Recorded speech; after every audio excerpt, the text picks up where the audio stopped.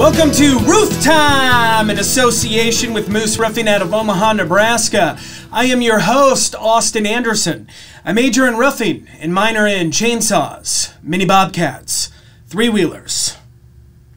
In today's video, we are discussing thatch roofing, commonly misunderstood as roofing for poor people. When did thatch roofing first appear on the world stage? Well, that was between 5000 and 1800 BC. This was a point in time where the years went backwards, just like that weirdo Benjamin Button. This choice was due to readily available materials like straw, stems, and reed. And it turns out that these weeds, when woven together, kept the rain out and also allowed for air ventilation. Farmers and fishermen began building dwellings that included the materials of thatch. But then came around the hoity and toity Victorians in their uppity ways. And in this era, natural thatch roofing became known as the poor people's roofing. Thatch roofing is for poor people. My wife's ass looks big in this dress. and its use slowly declined into the abyss. Fast forward to today. And despite the fact that we are in a pandemic hellscape and political dystopia, thatch roofing has become more popular now that people are trying to preserve historic buildings, and also because people who don't use deodorant like using sustainable materials. What's your forest name. These reeds and palm fronds used to make thatch are readily available worldwide and are easily replenishable as a natural resource. And they appeal to the tropical style that make many a homeowner horny for thatch.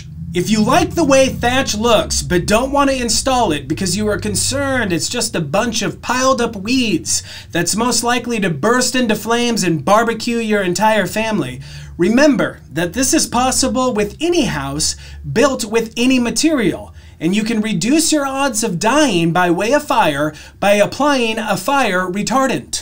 If you like the way thatch looks but don't want to install it because you think rats, mice, cats, and dogs will snuggle deep inside and make a home out of it, you can rest easy because they won't. They just won't do it. Even humans of old believed rats, mice, and even their own dogs would climb up into the thatch roof, tuck themselves in, and make it their home. This, this never happened. Not once. It's because thatch is woven together extremely tight to form a nearly impenetrable surface that keeps out natural elements, rodents and pests, and even cats and dogs. However, you could have some pest infestations if you don't take care of it properly, but anything is susceptible to some kind of damage because the earth is cursed! If you don't want to worry about it, you could also try synthetic thatch. Thatch roofs are the oldest roofing technique in the world. Take that to your dinner party after quarantine. Guys, the truth of the matter is, thatch is a great building material. It's a natural insulator. It keeps you cool in the summers and warm in the winters.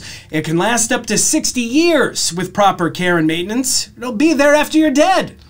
It makes you want to drink pina coladas, wear leis, and do the hula.